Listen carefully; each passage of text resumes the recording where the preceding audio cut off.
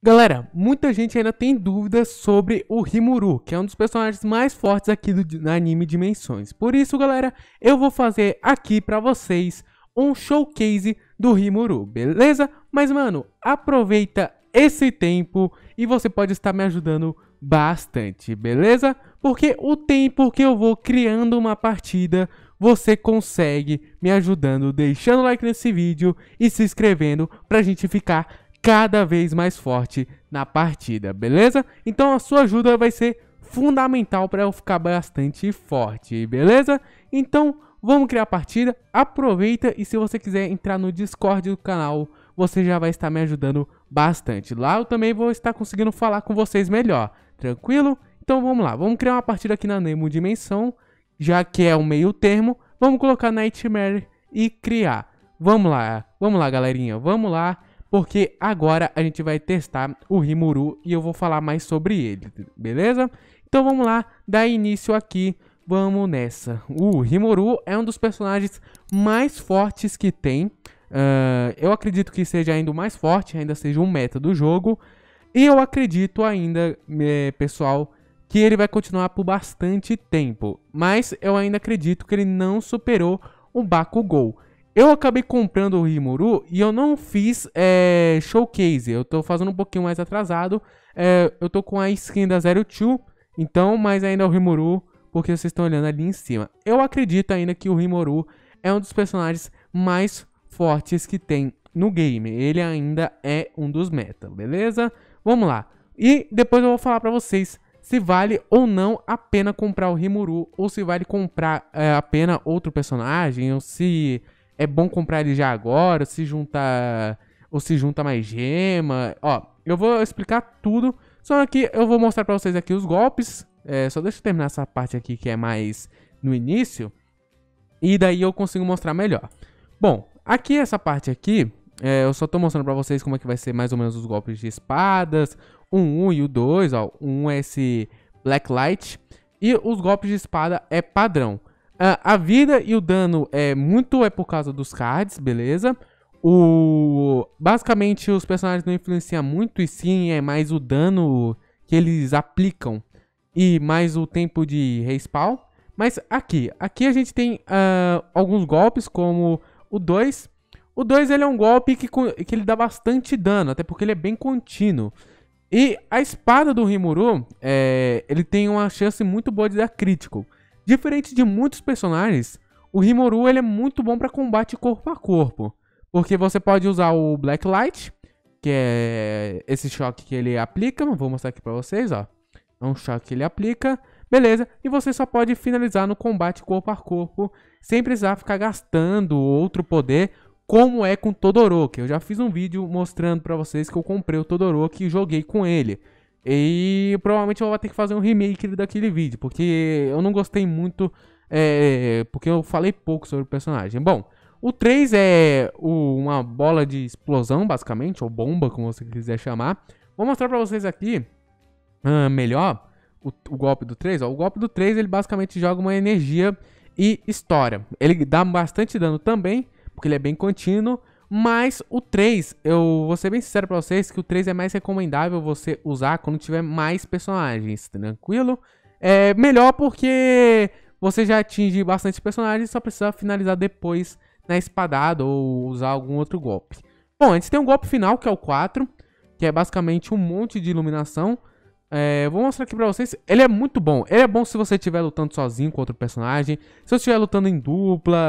Em dupla não, né? Se você estiver lutando com mais de um personagem. Ele é muito bom. Ele basicamente ele elimina tudo que tiver na frente dele. Esse, person... Esse golpe, o 4, é o melhor golpe que vai ter. Até porque é o super dele. Mas é um dos supers mais roubados que tem. Porque ele é bom quando você tá lutando contra um boss. Porque ele, ele atinge bastante esse boy, o boss que estiver. Uh, se você estiver junto, é, por exemplo, eu vou aglomerar alguns aqui. Que agora eu não vou ter tempo, né? Olha, véio, preciso do tempo de respawn. Mas é, é, um dos golpes mais apelão. É, é, é, isso, ó. Eu vou usar aqui o 4. Só esperar carregar aqui, falta alguns segundos, ó. Vou usar o 4. É isso, ó. Olha isso. Ele, ele literalmente limpou o mapa. Ele literalmente limpou o mapa e ainda tirou dano é, do, dos NPC que nem tinha spawnado ainda. Ou seja, é a melhor opção que vocês vão ter aí é, pra, pra usar. Ó. Eu vou tacar aqui o 3, que é essa bombinha aqui. Vamos usar aqui e bora. Bom, vou precisar de vocês ainda, galera. Quem ainda não deixou o like nesse vídeo, deixa o like pra gente estar tá derrotando o boss, tranquilo? Vocês vão estar tá me ajudando bastante fazendo isso. E quem quiser entrar no Discord também pode entrar. Então, é isso, pessoal. Vamos enfrentar este boss. Olha lá. Uh, agora a gente aqui, eu posso mostrar pra vocês mais ou menos como é que vai ser jogar com o Rimuru. Uh, vai ser tipo mais... ah, como é que vai ser? Você só mostrou os golpes e tal. Mas como seria na prática? Uh, basicamente a gente só vai flodar todos os golpes que a gente tem direito, né? A gente vai flodando os golpes.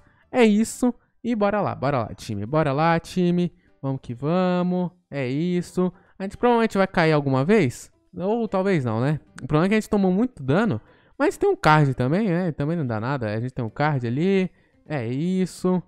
É isso, bora lá. A gente vai fazendo aqui os combos de, de espadas.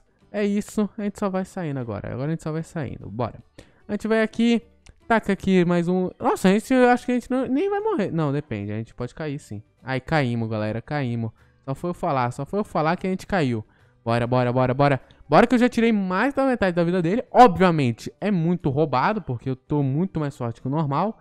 E eu não tava nem jogando sério. Então é basicamente isso. Bora lá, vamos nessa. E a gente vai derrotar aqui o boss final. Conseguimos derrotar aqui. Eita, não derrotamos ainda não. Agora a gente derrotou. É isso. Finalizamos o boss final uh, com o Rimuru. Foi bem tranquilo a gameplay. A gente ganhou um card e ficou com classe A. Obviamente eu enrolei que só. Dá pra fazer muito em menos tempo essa fase, principalmente com o Rimuru, que é o personagem mais forte que tem no jogo. E também porque eu tô muito mais avançado no jogo. Mas é agora eu vou dar o meu veredito final. Bora lá. Resultado final. Rimuru vale a pena? Obviamente que vale. É, é o personagem que se você for juntar para comprar um personagem de 1600 gemas, compre o Rimuru. Não tem nem, não tem nem história. É o personagem mais forte. Uh, eu fiz até um teste na live do VA que a gente fazia uma comparação com o Bakugou e o Rimuru. O Rimuru ainda é mais forte. A diferença é que ele tem a diferença de cooldown de 2 segundos pro primeiro e pro segundo. Ou se eu não me engano pro terceiro também. Mas a diferença de cooldown é basicamente assim, nem se compara com o mais dano que o Rimuru dá. Então o Rimuru ele dá mais dano e o cooldown faz uma pequena diferença dependendo do seu estilo de jogo. Se você gosta mais de usar é, poder, esses poderzinhos aqui, é, as skills do personagem, o Bakugou é mais rápido, mas a diferença é de 2 segundos. E como o Rimuru ele dá mais dano, eu recomendo você ir fielmente no Rimuru. Se você for comprar algum personagem de 1600 gemas, Pode ir no Rimuru, vai que é sucesso, porque o Rimuru é, é, vai na cal, vai na cal que eu tô te dizendo, porque funciona. É o personagem mais forte que tem, não tem nem como. É o meta do game, ainda é o meta do game. Então, basicamente o vídeo foi esse. Muito obrigado quem assistiu até o final. Valeu, até mais e tchau, falou, fui. Eu.